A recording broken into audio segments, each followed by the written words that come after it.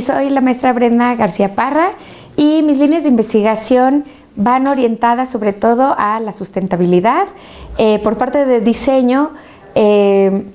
son a niveles eh, de diferente magnitud. El primero se orienta sobre todo al diseño a nivel de producto, ecodiseño, análisis de ciclo de vida, todo lo relacionado con impacto ambiental de un producto o de un sistema, en donde este sistema puede ser también de producto y servicio. Contempla este nivel un poquito más a profundidad de la sustentabilidad, en donde no nada más eh, las condiciones ambientales, los impactos ambientales se consideran, sino también todos aquellos eh, impactos o vínculos sociales y económicos como analizar, por ejemplo, patrones de consumo, de producción o aquellos em,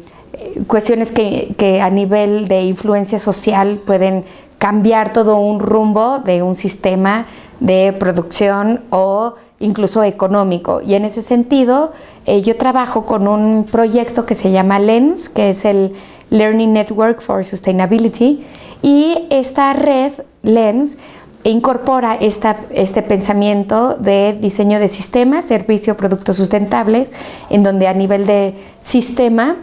eh, se contemplan precisamente estos cambios económicos, también cambios paradigmáticos eh, ligados a la sustentabilidad.